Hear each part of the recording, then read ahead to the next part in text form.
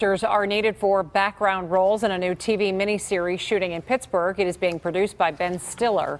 The open casting call for men only will be held this Saturday from 11 until 4 at the Old Western Penitentiary building. The show is based on the escape from Clinton Correctional Facility in New York two years ago. It stars Benicio del Toro, Patricia Arquette, and Paul Dano. Filming will take place later this month.